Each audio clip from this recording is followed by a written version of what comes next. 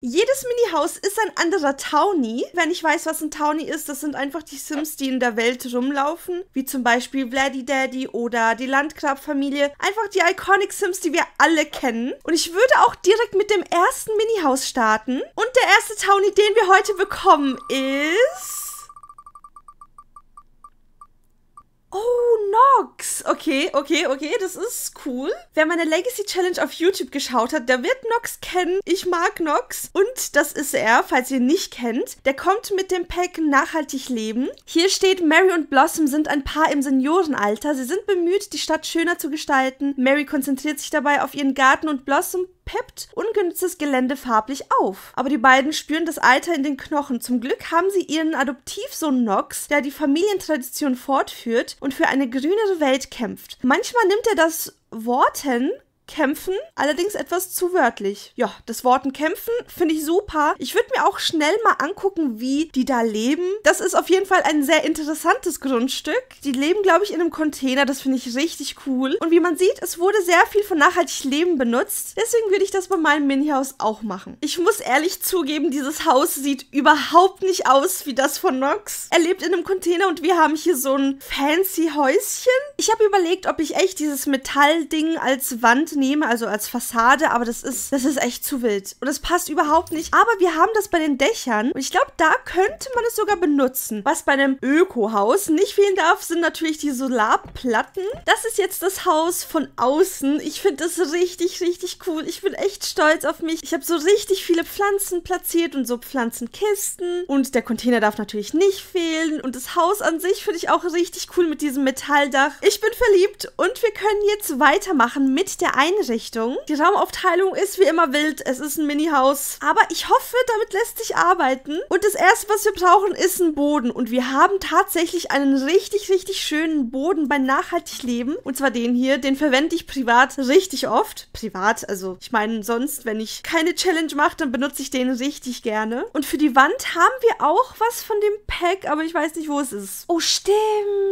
Wir haben dieses krasse Holz. Oder wir machen es so und setzen mit dieser Holz Holzwand einfach so Akzente. Das wäre eine coole Idee. Und ich merke gerade, ich sehe nicht so viel hier im Haus. Wir brauchen unbedingt Licht. Oh, bei Nachhaltig Leben haben wir interessante Lampen. Ich würde einfach mal mit dem Wohnzimmer anfangen. Und ich weiß nicht, ob ich ein Sofa von hier nehmen möchte. Es ist halt sehr groß. Wir haben nicht so viel Platz. Wenn wir das Sofa so platzieren, dann könnten, glaube ich, die Sims hier durch. Das als Kaffeetisch finde ich auch sehr cool. Das ist sogar aus dem Pack äh, Highschool-Jahre. Ich weiß, ein Fernseher passt zu diesem ganzen Pack und so gar nicht. Aber ich finde das irgendwie cool. Deswegen lasse ich den einfach. Die Lampe habe ich noch nie verwendet. Aber ich finde, heute passt die sehr gut rein sein. Wir brauchen allgemein sehr viele Pflanzen, denn es soll ja alles sehr grün sein. Und es sollte für mich eigentlich kein Problem sein. Und was darf nie in meinem Haus fehlen? Einmal die Birne und einmal der Apfel. Oh, Vorhänge haben wir auch bei dem Pack. Die sollte ich vielleicht auch verwenden. Aber irgendwie fand ich es ohne Vorhänge schöner. Ich lösche die einfach mal wieder. Das Wohnzimmer würde ich jetzt so lassen und wir können weitermachen mit der Küche. Bei Nox im Haus waren diese Theken, deswegen verwende ich die auch. Die Küche so finde ich richtig cool, auch mit der Wand. Ich glaube, das soll Metall sein. Sieht sehr cool aus. Und ich finde es auch cool, dass der Kühlschrank so ein bisschen der ist daneben. Okay. Das ist die fertige Küche. Ich finde sie richtig cool. Ich wollte jetzt nicht zu voll ballern mit Deko. Ich habe schon ein bisschen was platziert, aber ich finde sie wirklich sehr, sehr cool. Und wir sollten vielleicht weitermachen mit dem Eingangsbereich, denn da haben wir absolut gar nichts. Und, oh mein Gott, ich habe ganz vergessen, wir brauchen einen Esstisch. Ich glaube, den Esstisch würde ich einfach jetzt hier so platzieren. Oh, ich merke gerade, wir haben irgendwie nicht so viel Platz für Stühle. Das Sofa ist einfach viel zu riesig für dieses kleine Haus. Wir lassen das das einfach unkommentiert und machen mit dem Eingangsbereich weiter. Ich finde den Spiegel irgendwie richtig cool zu diesem ganzen Stil. Dann bräuchten wir vielleicht noch eine Pflanze. So eine, die hängt. Ist eigentlich ganz süß. Und ich würde sagen, wir sind mit dem ersten Raum fertig und können weitermachen mit dem Badezimmer. Das Badezimmer ist echt sehr, sehr klein. Dann müssen wir gucken, was wir da jetzt platzieren. Eine Badewanne wird nicht reinpassen, deswegen nehmen wir eine Dusche lieber. Wir haben von nachhaltig leben eine Toilette und und eine Dusche nicht. Das ist gut. Ein Waschbecken haben wir aber und ich finde die Sachen, ja, das ist auf jeden Fall nicht das Schönste aus dem Pack. Ich nehme einfach andere Sachen. Das Bad ist sowieso gar nicht mal so interessant. Das ist das fertige Badezimmer, wie gesagt, unspektakulär. Und jetzt können wir weitermachen mit dem letzten Raum dieses Mini-Hauses. Und das ist das Schlafzimmer. Und ich glaube, wir haben bei Nachhaltig Leben Bett. Genau. Oh, das ist eine coole Farbe. Die mag ich richtig. Es ist auch so ein bisschen ein Kontrast zu den ganzen hellen Farben. Hier würde ich definitiv Vorhänge platzieren. Aber die Farben mag ich nicht. Okay, nee. Wir nehmen was anderes. Oh, die finde ich gut. Hier noch ein Schreibtisch. Vielleicht machen wir alles einfach ein bisschen dunkler. Ein Computer würde ich auch platzieren. Vielleicht ein Laptop. Ja, ein Laptop ist gut. Ein Bücherregal wäre eigentlich auch ganz cute. Vielleicht machen wir das... Boah, wir haben halt echt sehr, sehr wenig Platz. Man könnte es aber so machen. Das finde ich gar nicht mal so schlecht. Das ist das fertige Schlafzimmer. Ich finde es richtig, richtig cool. Vor allem die Farben. Und wir sind fertig mit dem ersten Mini-Haus. Und ich muss sagen, ich bin echt sehr zufrieden. Ich bin ein bisschen verliebt in das Haus. Ich finde das so cool. Sowohl von außen als auch von innen. Und wir können weitermachen mit dem nächsten Haus und dem nächsten Townie. Wir müssen hier Nox einmal entfernen. Und dann drehen wir nochmal das wunderschöne Rad und bekommen...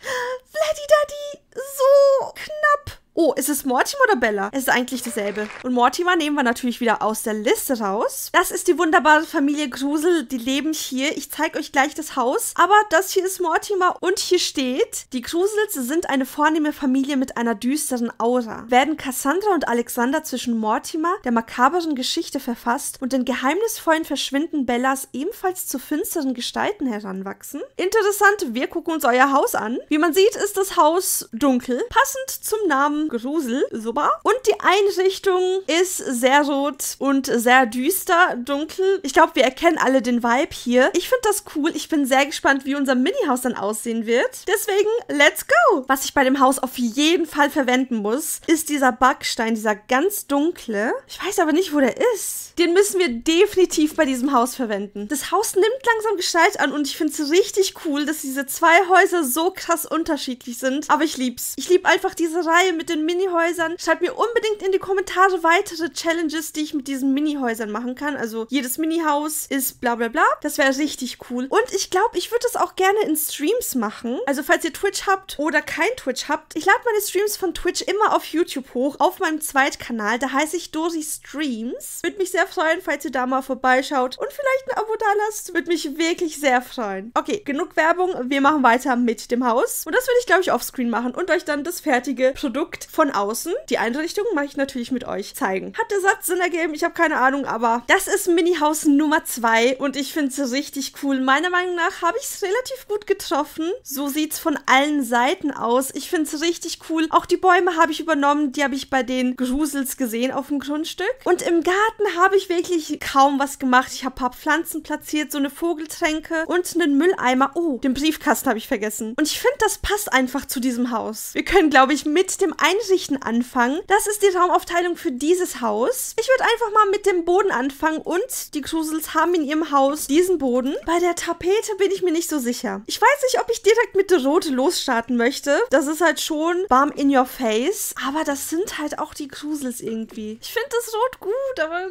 ich bin mir unsicher. Doch, ich möchte das benutzen. Ich finde die Farbe gut, passt einfach zu denen. Und ich glaube, diesmal möchte ich mit der Küche anfangen. Dafür hätten wir hier Platz. Und ich weiß gerade nicht, welche Küche sie in ihrem Haus haben. Aber ich glaube, hier würde ich einfach selber entscheiden. Ich will ja auch nicht alles eins zu eins kopieren. Ja, so eine schwarze Küche mit einer Marmorplatte. Ich glaube, das ist sehr passend. Oder lieber die Theke mit der braunen Platte. Ich glaube, das ist dann doch ein bisschen besser. Hier dachte ich mir, kann ich einen Kühlschrank platzieren. Dann nehme ich einfach mal den den hier. Den sieht man sowieso nicht. Und Hängeschränke hätte ich eigentlich auch gerne. Könnte man so platzieren. Ich weiß nicht, ob das gut aussieht. Ja, doch. Das ist die Küche und ich finde sie richtig cool. Gefällt mir wirklich sehr. Und wir können weitermachen mit dem Wohnbereich. Den Eingangsbereich würde ich... Oh, oder? Nee, wir machen den Wohnbereich. Da muss auf jeden Fall ein fancy Sofa her. Aber eins, das nicht riesig ist. Ich hätte voll gerne einen Kamin hier. Wird wirklich richtig gut zu dem Vibe passen. Aber wir haben einfach gar keinen Platz. Deswegen lassen lassen wir den Kamin einfach weg und wir platzieren einen Fernseher. Ich glaube, hier in der Ecke so ein Fernseher wäre richtig cool. Also jetzt nicht mit dem Ding, aber ja genau, so ein Ding. Vielleicht auch so einen Fernseher. Ich bin letzte Zeit irgendwie voll der Fan von dem Fernseher. Ich glaube, das so verpasst gut. Und vielleicht noch einen Sessel. Also bis jetzt sieht es echt gar nicht mal so schlecht aus. Was in dem Haus eigentlich nicht fehlen dürfte, ist so ein Ritter. Ja, ich würde den da auch einfach mal stehen lassen. Das ist der erste Raum. Ich finde ihn richtig, richtig cool. Wir haben hier auch ein bisschen mehr Platz. Das passt auch irgendwie zur Villa der Grusels. Und wir können weitermachen mit dem nächsten Raum. Und der nächste Raum ist ein Schlafzimmer. Das heißt, wir brauchen ein fancy, teures Bett. Und das hier ist echt teuer. 12.000 Simoleons. Aber das haben wir in so ein... Okay,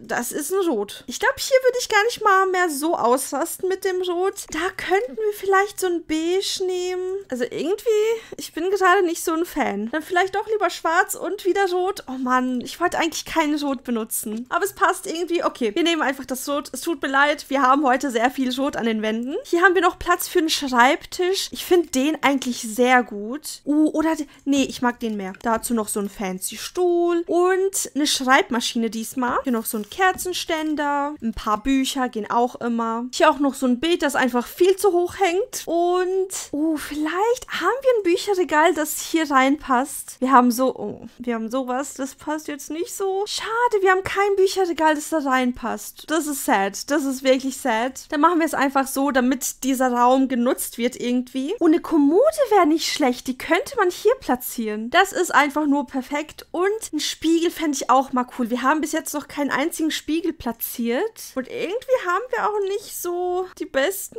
Okay, nee, wir platzieren platzieren. Oh, der ist das hm, zu fancy. Der hier ist ein bisschen besser. Den platzieren wir einfach hier in die Ecke. Und hier könnten wir eigentlich wieder ein Gemälde platzieren, weil zu viele Gemälde gibt es gar nicht. Ich bin fertig mit dem Schlafzimmer. Ich finde es richtig cool. Und wir können weitermachen mit dem Badezimmer. Und das wird, glaube ich, gar nicht mal so special. Dieses Rot hört einfach nicht auf. Es tut mir so leid. Das Badezimmer ist auch fertig. Es ist halt einfach ein kleines Badezimmer mit einer roten Wand. Und das ist das fertige Haus von den Grusel Grusels. Ich finde es wirklich richtig cool. Und ich finde, man erkennt, dass es Mortimers Haus sein soll. Das zweite Haus ist fertig. Das bedeutet, wir können weitermachen mit dem dritten und letzten Mini-Haus. Und das bedeutet wiederum, wir können nochmal am Glücksrad drehen und wir bekommen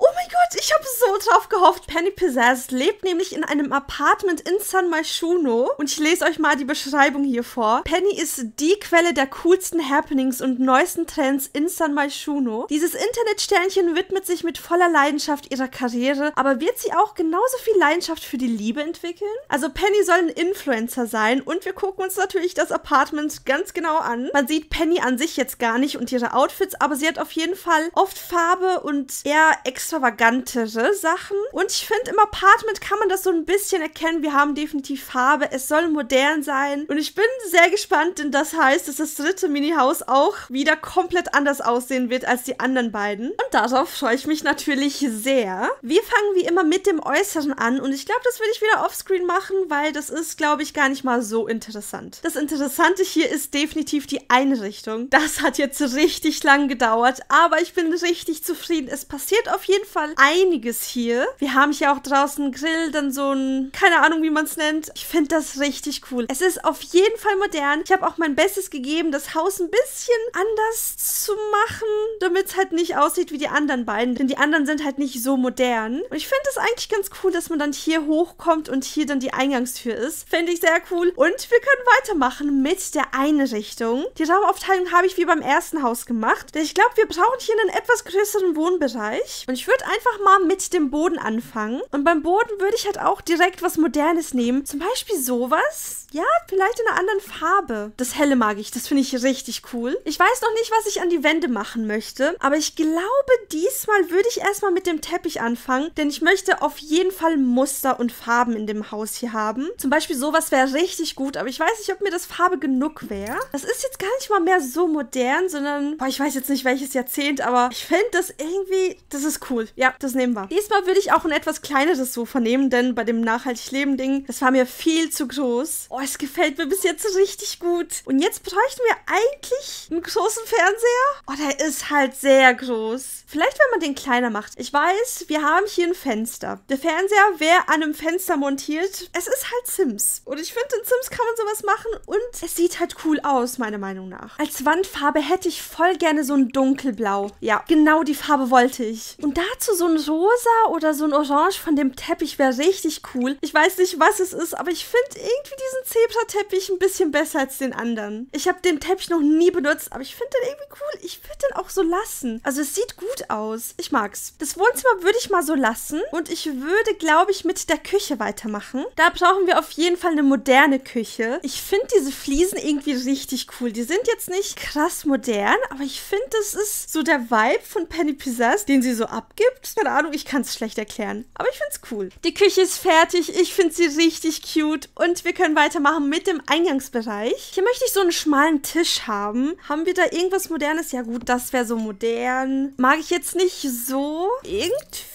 irgendwie hat das was. Ja, das sieht cool aus. Oh, wir brauchen auch noch einen Esstisch. Darf ich nicht vergessen. Ich glaube, den platziere ich einfach direkt jetzt. Äh, wir nehmen den Glastisch. Ich glaube, das mit dem Esstisch ist so okay. Und hier wollte ich über diesem kleinen Tisch ein riesen Gemälde aufhängen. Aber haben wir was Modernes? Das wäre halt groß. Aber ja, die Motive sind halt nicht so, so Penny. Das schreit nicht nach Penny. Das zum Beispiel wäre besser. Aber ich wollte eigentlich ein großes, richtig cooles Bild haben. Das werde ich hier wohl wahrscheinlich nicht finden. Deswegen nehme ich einfach mal das. Ich würde das jetzt so lassen. Ich finde es richtig cool. Und wir können weitermachen mit dem Schlafzimmer. Das Bett finde ich richtig cool. Vielleicht finde ich da auch die passende Wandfarbe. Es hat eine sehr spezielle Farbe. Das zum Beispiel ist nicht dieselbe Farbe. Ja, ich hab's. Ich habe einfach genau die Farbe gefunden. Es ist hier definitiv bunt, aber ich lieb's. Da kann der Teppich ruhig ein bisschen langweiliger sein. Und vielleicht das hier als Nachttisch. Hm, nee, mag ich nicht. Das sieht auf jeden Fall besser aus. Ich finde das Schlafzimmer bis jetzt richtig cute. Ich glaube, jetzt fehlen eigentlich nur noch ein paar Deko-Sachen. Und dann sollten wir mit dem Schlafzimmer fertig sein. Ich weiß irgendwie nicht, was ich hier an die Wand machen soll. Ich glaube, ich würde die einfach leer lassen. Das Schlafzimmer sieht auch so ganz cute aus. Und wir machen weiter mit dem letzten Raum für heute. Und das ist wieder ein Badezimmer. Es ist ein kleines Badezimmer. Deswegen weiß ich nicht, was ich so groß anders machen soll als bei den anderen Häusern. Ich hätte halt voll gerne eine Badewanne. Könnte man das vielleicht so machen? Das wäre halt richtig cool. Ich weiß nicht, vielleicht, ja. Doch, ich glaube, ich mache das, ja. Die Sicht von außen wird aber natürlich versperrt. Dann kann ich hier eine Toilette platzieren und hier ein Waschbecken. Da würde ich, glaube ich, einfach eins von Traumhaftes InDesign nehmen. Oder das hier, das finde ich auch cool. Okay, wir nehmen das. Nee, ich will Traumhaftes InDesign doch. Es tut mir leid, ich kann mich nicht entscheiden. Ich nehme, oh nein, das gibt es nur in weiß. Ja, okay, dann nehmen wir das weiß. Und noch einen süßen Spiegel dazu. Toilettenpapier, ganz wichtig. Und das ist das fertige Badezimmer. Das finde ich auch ganz cute. Und wir sind fertig mit dem letzten Haus. Penny Pizzazz kann auf jeden Fall hier einziehen. Und wir gucken uns doch mal die Häuser an. Also ich muss wirklich überlegen, welches ich am coolsten finde. Ich finde wirklich alle drei richtig, richtig cool. Aber ich glaube, ich finde tatsächlich das erste am coolsten coolsten. Ich mag wirklich alle. Also ich finde jedes einzelne Haus richtig, richtig cool. Aber am meisten würde ich, glaube ich, im ersten Haus leben wollen. Schreibt mir bitte unbedingt wieder in die Kommentare, welches Haus ihr am schönsten findet. Und ich würde sagen, das war's mit dem Video. Ich bedanke mich fürs Zuschauen. Vielen lieben Dank und bis zum nächsten Mal. Tschüss!